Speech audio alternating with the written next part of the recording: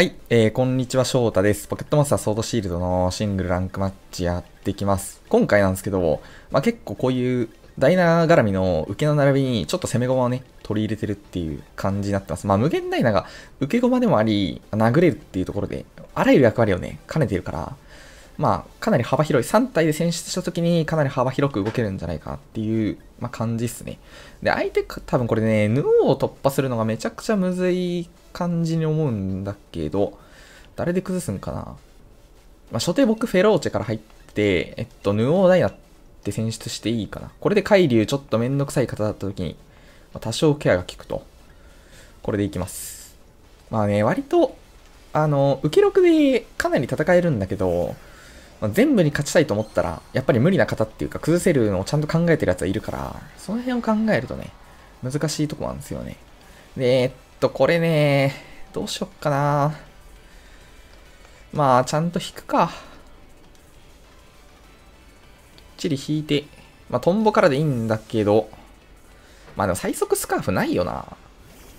まあまあまあまあまあでも、ダイナ引きでとりあえずは、オニビは OK、ボルチェンも OK で、ボルチェーン。これまあ本当は上からトンボ返りしてっていう話あったけど、どっちが早いんだっけ？え、でもロトム、最速は、いや、最速はないよな、さすがに。でもこれ多分この後のサイクルが別に僕大丈夫だから、これでいいと思うんだよね。フェローチェの助け残すのがこの世界の全てだから、で、相手2枚見えてて、まあ、布を引きでいいっすね。で、この後に何仕掛けてくるかなんだよな。で、ザシャンのね、上もフェローチ取れてるから、まあ、ヌオーの5つ目絡めてザシャンちょっと削った後に、ダイナのマジフレでもいいし、まあ、フェローチェでインファで処理してもいいっていう、助けあるから、見物見まくって石化っていうのをケアできてて、まあ、カバルドン絡みがね、結構苦しくはなるんだけど、まあまあ、とは言っても、悪くないんじゃないかなっていう気はするけど、まあ、あとカバルドン入りにはちょっと選出できないね。このルールね、カバルドンがめちゃくちゃ重い。ステロで確定数はずれるし、強獣山一番安く出したね、とりあえず。うーん、この後だなまあ、対面からならまだヌオ、ダシャンがなんとかなる話があって。えな、これもう2回5つ目入れれるっしょ？毒打ちに行ってもいいんだよな。まあ、ナットかな認むか。認む出てくる。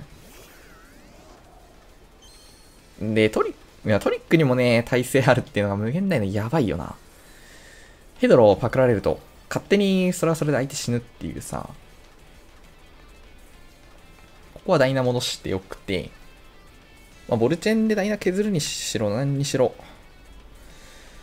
まあ、釣り交換。これ捨ての分かれて釣り交換繰り返されるとまあまあめんどくさいんだけど、まあそれはそんなにだよな。第1ステロ、ナットぐらいじゃん。負けるやつ。ダイナ投げ直して、ボルチェンかな？トリック。5つ目パクられるのはまずかったから、トリック食らうなら、まあ無限ダイナね。無限ダイナなんかチョボ巻きとドヒドイデを足して、それぞれ2倍にして足して2で割ったような、なんか、あ、それ、どっちも足すのと一緒か。そんな感じのね、雰囲気っすね。あーロトム削れてくから、マジフレでいい話あるけどなマジフレでいいな。突っ込んでる。トリック連打かないや、それはさすがにあんまないな。ボールチェーン。僕はダイナ何もらった？持ち物見たいな。で、ダイナ捨てると、ロトムがまあまあ、あーでもトリックしてるからな別にインファで処理できるな。フェローチェの一環を多分最後にこっち残せば、それはそれでいい。裏にあと結構フェローチェ通ってたから、で、こう何出てきても僕マジフルで一応、タスキだったり、マジュスケだったり、化けの皮だったり剥がせるからね。もらったのは多分スカーフだよね。それならね、無限大ダもザシアンを上から縛る枠にカウントできるから、この絵を引いて、まあ、認めじゃダイナちょっと崩せないだろうから、この動きでいいと思うんだけどな。まあ、あと最後に、ザシャンにね、インファでフェローチェまあまあダメージ入れるっていう、その、安心感がね、めちゃくちゃありますね。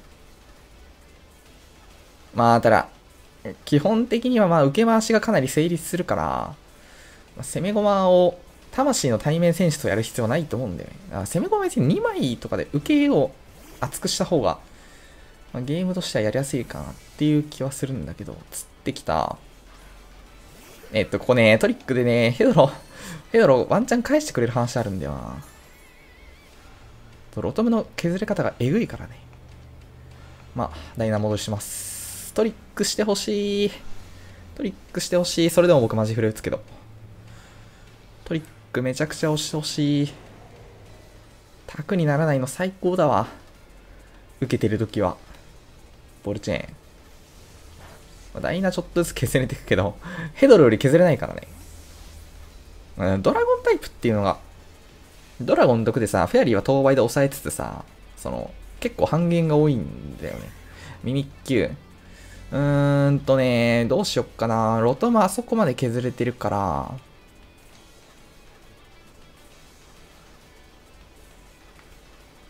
いや、これ多分でも、ヌオーと絡めて処理でいいんだよな。ヘドバック打つか。こう、打者に出てくるのは OK で、毒入れたい。毒なくてもいいんだけど、でかっ。何でも言う通りにするやん、お前。マジか。何持ってるミミッキによるかなと。剣舞のやつ。まあ多分、布入り出してるってことはウドハンでしょまあ、ウドハンはね、5つ目稼ぎと、えっと、ダイナに、ダイナをウドハンに投げてっていうのを繰り返すと、まあ、5つ目プラスウドハの反動で削れていくから、それで全然 OK だね。で、毒あるから相手結構焦って動かなきゃいけない話あるから。で、ミミッキさえ消えると、てかまあ消えなくても、ダイナーとマジフレ連打で、フェローチョと合わせて詰めれるから。多分、これミミッキのウドハンで役割集中でヌオを殺して、っていうあれだと思うんだけど、雑誌に出てくる。これどういう釣りなんだろう。え、でも好都合だ、めちゃくちゃ。これね、認めに自信入れたい、毒入れたい話と、いろいろある。うーん、いや、まあでもネットでいいな。雑誌ン突っぱなら全然いいし、うん。引いてる時にネット通るし。これでも言うて、ダイナヌオーでなんとかなってた話あるけど、や、でも相手さっきんとこさ、つって、ウドハンミミッキじゃないんかなおお、全部思い通りになるやん、これ。マジか。ダイナ、ダイナの受け範囲がえぐいな。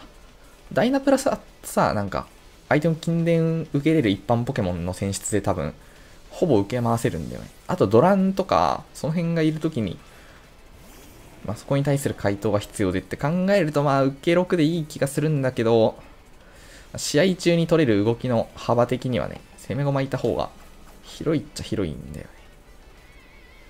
うーん、ここね、スカーフもう一回くれること考えると、身代わり押したいけど、そういうトリックは破滅するから、シンプルに殴るのはいいと思うんだよな。ボルチェーン。これは裏にマジフレが一番通るから。正解で、雑誌案とか出てくるんじゃない？ヘドバック読みで。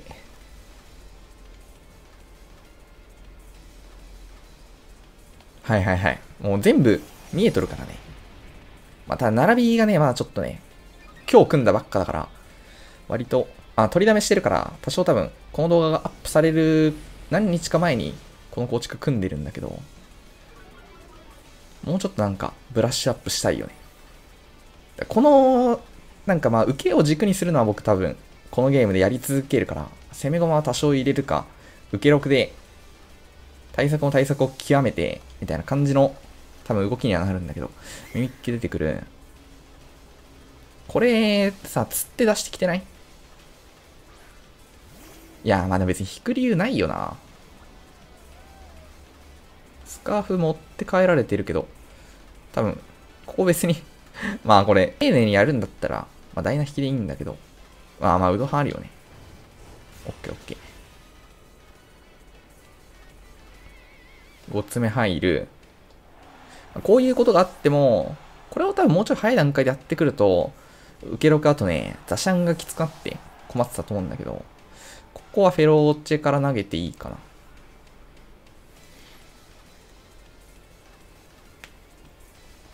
まあ、フェローチがいる。あー、ザシャンから来るか。これ正解で、これ、ここミトムから入られるとまあまあめんどくさかったんだけど、まあ、ザシャンに石化があるかないかとかで、ちょっと変わってくるかな。ここはもうインファでいいっすね。この HP のダッシャンは落ちるから、助けを盾に。で、認むダッシュは間に合わない。さすがに。一致だし。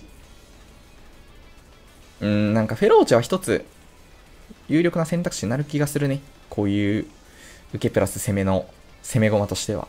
まあ、トンボで、割となんか、技押しやすいっていうのもあるし。あと、まあ、ドランにインファの、あれ押し付けれるのと、まあ、ダイナが身代わり残してもドランには意味ないからな。それ以外の時はまあ、相手の受け出しにトンボして、ドランで身代わり残し、あ、ドランじゃない、ダイナに身代わり残してっていうムーブ取れるから、まあ、立ち回りやすいといえば立ち回りやすいかな。オッケー、ロトム。これ、やっとここに来て、相手の素早さが見えるっていう。まあ、多分だけど、フェローチェ上からウックション。ああ、はいはいはい。さすがにそうだよね。まあ、初手トンボでもよかったな。ロトム削れるし、その方が。まあまあまあ、GG っす。じゃあもう一戦いきます。はい。じゃあそのまま続けて2戦目やっていきます。この試合は多分、えっと、僕のこの並びね、見ての通り、まあ、クロバドレックスが受からないっていうところで、まあ割ときつくはあるんだけど、フェローチェダイナ、ダイナでほとんど見れるので、マジですごいな。神。えっと、フェローチェダイナ、アット1。うーん、初手のゲロゲには僕突っ込んでいいと思うから、で、ガーに対して無限大着地した時に、多分裏にめちゃくちゃ負担かかるでしょって考えると、割と困らないかな。ラスト誰がいいかな？まあ、レイドマンになれるスイ君か、うーんって感じだけど。黒バド。黒バドの処理がまあやっぱ対面に寄ってるから、それがちょっときついところはあるか。ラッキー投げた時にラッキー多分捨てて終わるゲームになるよな。で、サイクルそんなに回らないだろうから。まあ、ワンチャン掴めることがあるレードマンか、ゲロゲの自信の一環を切れる無道か。ステロも負ける。ただ、それも黒バドが出てきた時に、お荷物になっちゃう。いやでもステロ負けるならま、いやー、スイくんだな。まあ、受け6って、あの、多分ね、プレイングっていうか立ち回りをかなり固定化されてるから、多分だけど、まあ、8割ぐらい固定されてるんだよね。だから、まあ、やろうと思えばプログラマーいればさ、多分プログラミングして、全試合自動運転みたいな、やろうと思えばできるっていうか、ちょっとそれやってみたいなって思ってたんだけど、あの、まあ、処理ルートが増えるってことなんだよね。攻める処理ルートを入れると。だから、そうすると多分さすがに立ち回りがね、難しくなる。固定化されないから、なんか毎試合毎試合よく、まあ、別に受けループで毎試合考えないでってわけじゃないけど、なんか、いろいろ考えなきゃいけなくなる話はある気がするね。ここ、えっと、地獄好き打って出てきて困るの。S に別に全員上取ってるから、まあいいか。通るんですよね、そんでこれが。バレないと。クロバデレックスのね、地獄好きマジでケアされないんだよな このやり方なんか、前の近電、大回りだった近電ルールの時も僕これやってて、ちょ、時々ね、これでちょいちょい殺してたんだよね。クロバドレックス。死んだけど。だって、フェローチの方がなんか、なぜかさ、1早いんだもん。151あって、素早さ。冬中打れてもいい。たぶん、高3でしょ。ああ。too easy だわ。GG ってことでね、お疲れっす。